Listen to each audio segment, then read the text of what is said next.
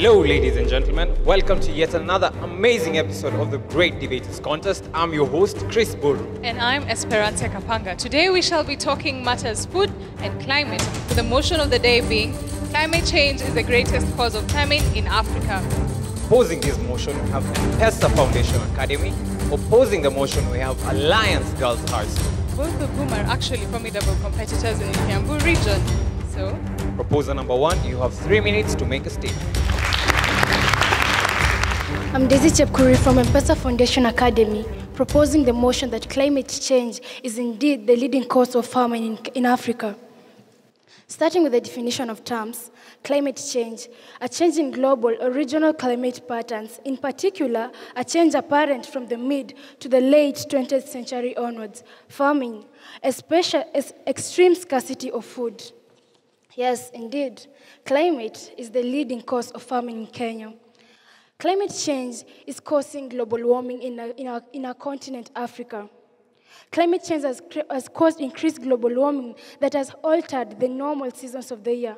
Research has revealed that the sub-Saharan and the Saharan countries have experienced irregular and short rainfall seasons, thus increasing temperatures throughout the year. When temperatures increase throughout the year, the farmers won't get the rainfall that they require to, to produce more agricultural products. What does that lead to? It leads to famine because there will be extreme scarcity of food due to the lack of rainfalls. Again, I come from Taita Taveta County. And in 7th April 2017, there was an invasion of armyworms in that county. What do you think we faced? Right now, my country is at a verge of experiencing famine. Why?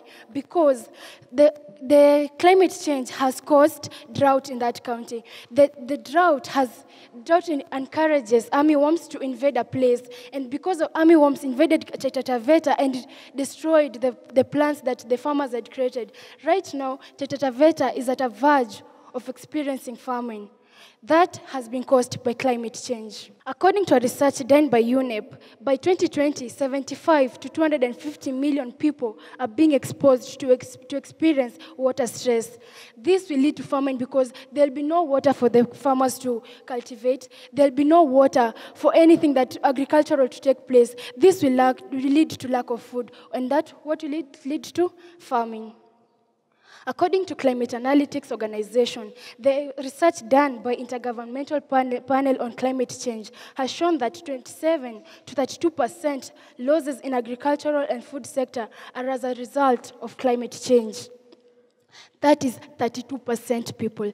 I know that there are some other there are, there are some other factors that have also led to climate change, but 32%, it's almost a half. If you divide the rest of the 68% that is remaining, it will be like 2%, 3%, 15%. Those are so less, but climate change is the leading cause of farming. So 32% of the, country, of the countries in Africa will experience famine. Don't you think that a lot of people are going to die during that period? We love our country and we, love, we want them to not to be affected by climate change. So there are some things that you can do to prevent it. According to a research done by Oxfam.com, nearly 11 million people in Somalia, Ethiopia, and our very beloved country, Kenya, face terrifying food shortages. People, those are a lot of people we are losing to climate change. So let's not ignore the fact that it is actually climate change that is causing this famine in Africa. And as I end, one of the SDGs goal, number two, is no hunger. And if you ignore the fact that climate change is really the thing that is causing famine in Africa, then we're at a risk of not we are at a risk of not reaching the goal number two. Thank you. First opposer, you have three minutes to present your case. Kerubo Arisi from Alliance Girls High School, opposing the motion. Climate change is not necessarily the main cause of famine. There are many other causes. Many, many countries in Africa take, for example, let's look at South Sudan, Somalia, and even Northeast Nigeria. These countries have been recently ravaged by famine. Why? It is due to internal conflicts and the general unrest in those countries. Now, do you expect me to act my back in my farm and tend to my crops when my life is at stake? When I'm supposed to save my skin? Surely no. I can't. So, farms burnt down, granaries reduced to ashes. From there, we expect nothing. We expect nothing but wild, widespread malnutrition, starvation, and even death. Families cannot go back to their homes because they know between them and food stands a gun. Looking at it, moreover, we can see even the militias, they take this advantage, they take this to their own advantage and loot food. Food aid agencies cannot even access the worst chicken areas to deliver food so long as there is war. Famine will definitely be experienced.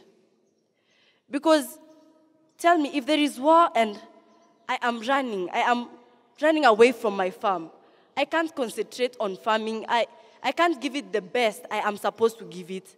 And there will be low food production and thus famine. Second proposer, you have three minutes to file a rejoinder. I like the man who is proud of their nation, their continent, and I'll stand by this man when he stands right and when he's right, and I'll part with him when they decide on the wrong path. My name is Frank Abdi from M-Pesa Academy, strongly proposing the motion before us. Ladies and gentlemen, the motion before us doesn't require us to think outside the box, but it's better for us to think within the box in relation to the future and what might cause the result inside the box. I pardon. The motion before us does not require us to think outside the box, but to think beyond the box in total reflection of what the box holds. The motion before us is famine. I know many, research, many researches have been done about other factors affecting famine.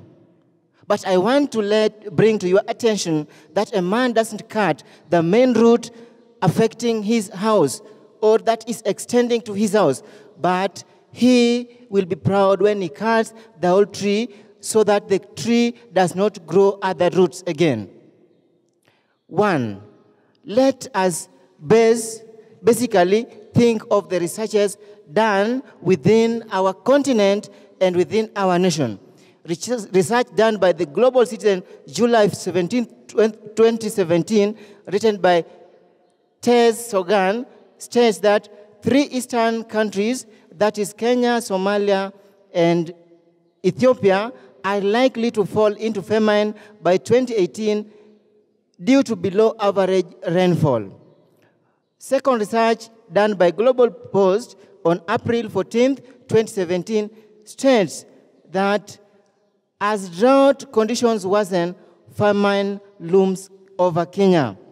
The third research done by International Research Institute for Climate and Security uh, categorized that climate change is a prime factor for, pri uh, for famine in most countries in Africa. Lastly, the research done by BBC News on 11th November 2012 states that the most countries in Africa are affected due to climatic change. Young, adult, and gentlemen, researches are done, but let's think of who are doing these researches and how are they affecting Africans. Most of this research are done by European countries, and all of us are aware that these European countries, they exploited Africa, and they are the main cause of the, the climatic change in Africa. And therefore, ladies and gentlemen, if we deploy the antagonist or protagonist, let's expect the result to be antagonist or the protagonist in this matter. And therefore, when we give ear to the researches done by the European countries that a matter like corruption, which comes the minor factor of famine in Africa, a priority that is the cause, then we are going the wrong direction. And therefore, I say that famine, the main cause for famine in Africa is, uh, is climatic change. Thank you. Second opposer, you have three minutes to file a rejoinder. One of the big challenges to responding to a famine is resource. There's food out there, true. But then, is there the will and is there the money? That is something said by Kate McMahon from Mercy Corps Food Security Advisor. Leshamto Ongoy Alliance Girls High School strongly opposing this motion that climate change is the leading factor to famine. I would like to ask that if there is climate change in a country, as much as you have quoted countries such as Kenya, Ethiopia, Somalia, very true. But if these countries, just as Kate McMahon has said, if they had the will and the money, wouldn't they have been able to rebuttal that? Wouldn't they? According to the SDG from the United Nations, number one, about poverty, it states that 80% of sub Saharan households earn less than $2 a day. And lack, because of suffering poverty for a long time, for several decades, lack of strong government and community support systems have not been able to support them, even in their earning of less than $2 per day. I mean, if I am poor today, as much as I would like to eat, as much as I can see that it is raining, if I am poor, what can I do?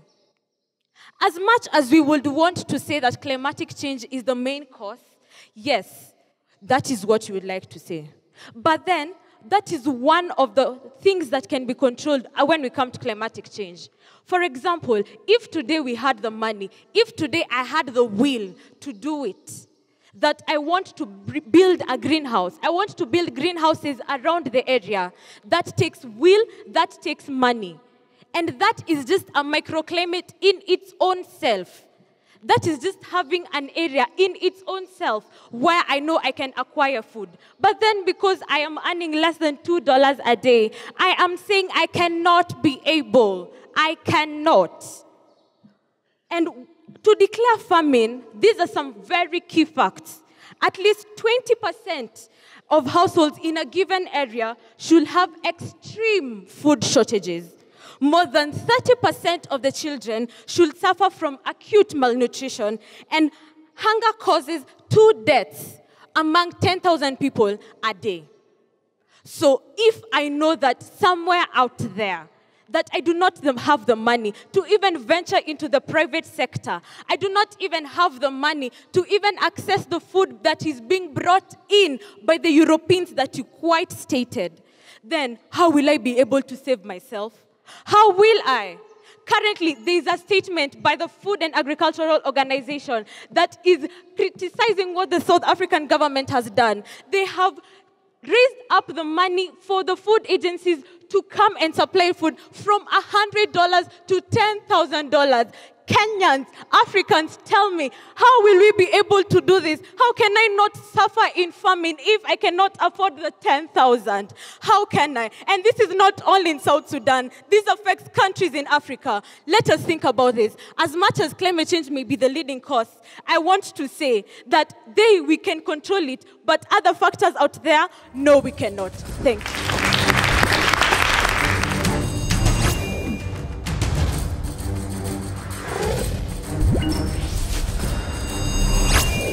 For the question session, the proposers have been asked what is their take considering that Middle Eastern countries experience irregular climate yet are still able to feed their citizens compared to a country like Kenya that has regular climate patterns but still has citizens that suffer from famine. The opposers have been asked where does the will and the money come from considering that agriculture is a major sector in the country. Third proposer, you have three minutes. SDG number two no hunger. But what causes hunger? Climatic change is the main effect of hunger. Miracle? Israel is not a country in Africa. We are talking about Africa. But, and mind you, that Israel was always a drought country from the beginning, the ancient times. But Africa was had arable land.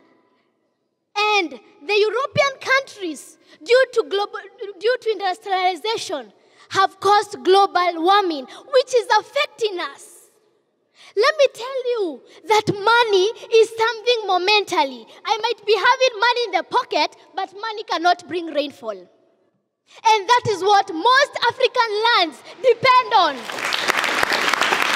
In 1978, 1997, 1998, El Nino in Kenya.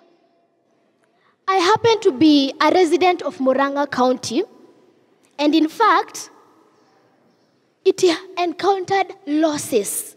It's so devastating. In 2016, the long rains that we had, my neighbor was washed away. Everything, including the food, they had to begin from zero. It's so unfortunate. It's a, it's a cause of famine.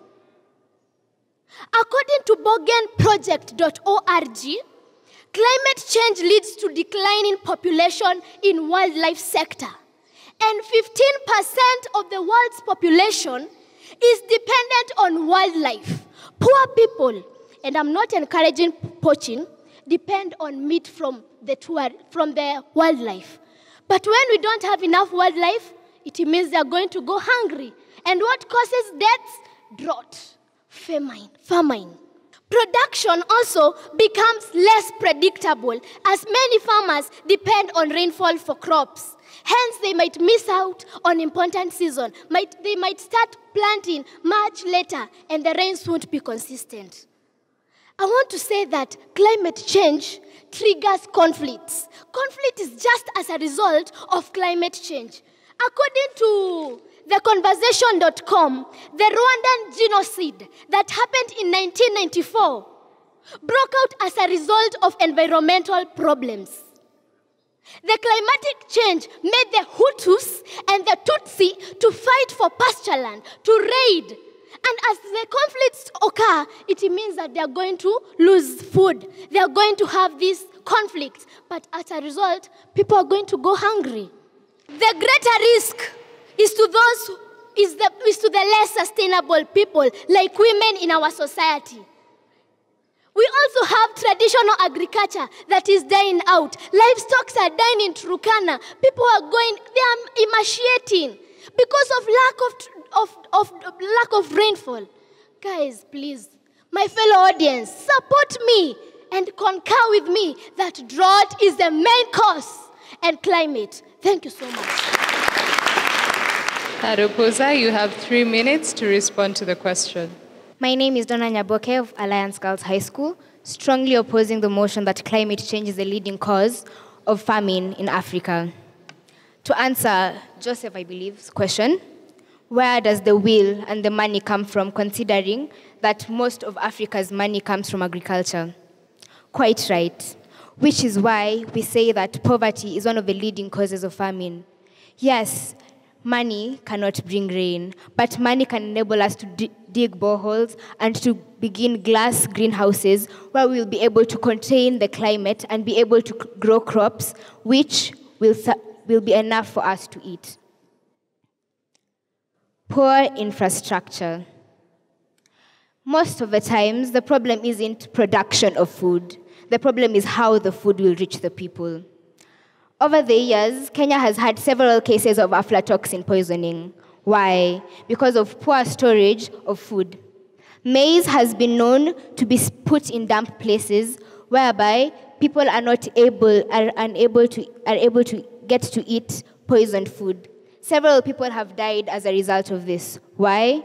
The government does not input enough money in the agricultural sector. We have diversified to things like real estate, where we think more money will be earned. Think of South Sudan, where 60% of the land is inaccessible. Why? Poor roads.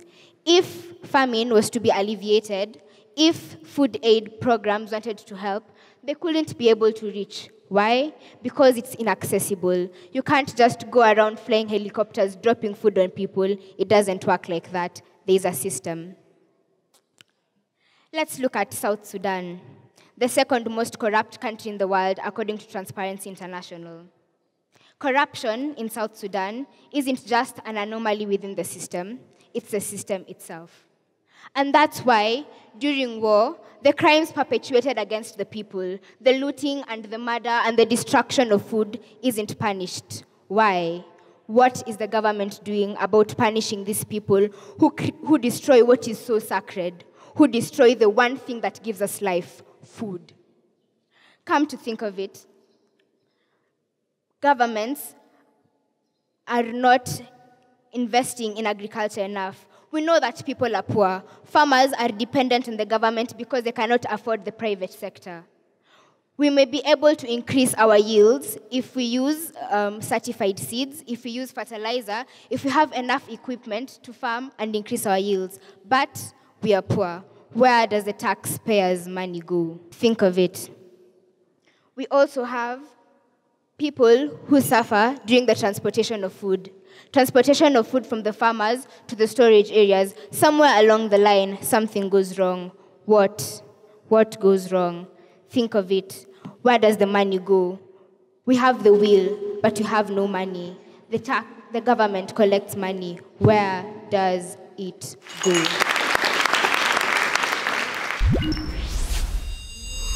The proposition, you have one minute to wrap up your case. When I lean forth and back, shake my head, I still see no points in their research. Why?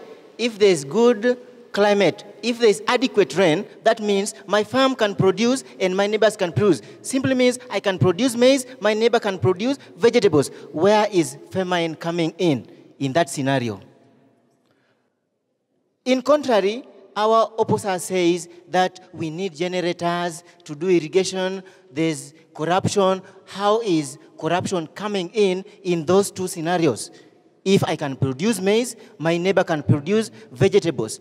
See, I, I think there's no need for us to talk of something like FEMA in that case. Another thing, how there, there are generators that need water to run. If there's no water, how will this generator function? What will I use to irrigate my farm? Eh, because irrigation deals with water. How can I irrigate land and there's no water? How is corruption, water, good, I don't know, drought resistant crops coming in? How can you, even drought resistant crops need some water? You people, let's think beyond what we can see. Thank you. Proposition, you have one minute to wrap up your case. I would quite want to say what he said last. Guys, let us think beyond what we see. That is the last thing he said, right? What we are seeing right now is climate change. And for us, we are thinking beyond what we are seing. We are thinking of how the people who are facing in conflicts, currently Baringo County, South Sudan, Somalia, I mean, they cannot grow. They might have the rain. But then, just as you said, they left, the Hutus and the Tutsis left. They did not have, they did not grow. They could have starved because of that. So honestly speaking, as much as climate change is a cause. I do not, it is okay. But the motion is, it is the leading cause of famine. And that is one thing that we oppose. We oppose that is not the leading cause. We have other things that cause. And remember, Africa is culminated with problems from every side war, bad governance, government policies, not only climate changes, not only that. And that is not the leading cause. We have very many things that come and contribute to us starving each and every day. Thank you.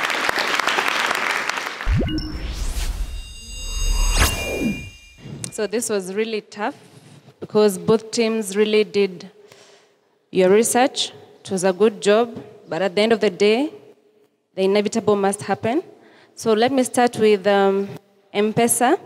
Daisy, a good start. You defined your terms. You also quoted your sources when giving references. And uh, you made reference to the SDGs, which was a plus for you. Frank, I also like that you backed your argument with some facts. Um, though I believe you can do better than this with more practice. Joyce, you are really passionate. I like that your feelings resonated with the audience. That was good. The examples you gave, very, uh, very relevant. Let me go to Alliance Girls. Valeria, a good speaker.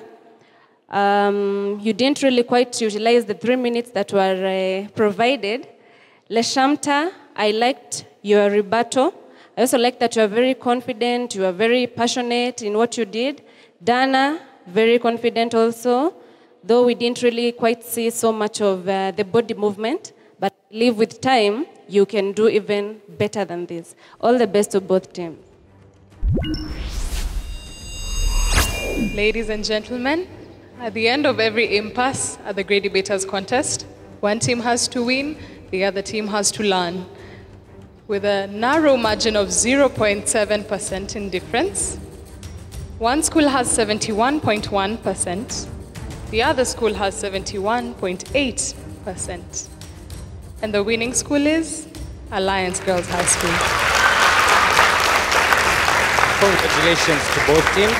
To M-Pesa Academy, the battle may be lost, but the war is not yet over. For those watching us at home and various parts of the country, remember to keep the conversation going on sustainable development goals. I'm your host till next time, Chris Buru. And I'm Esperanza Kapanga.